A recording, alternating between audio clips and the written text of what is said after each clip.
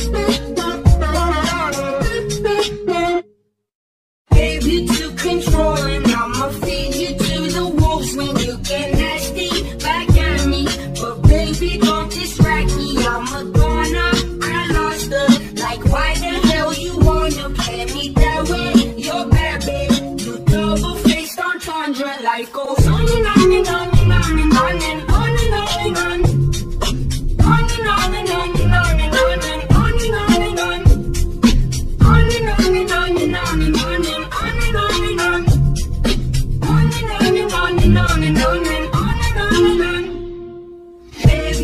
believe it.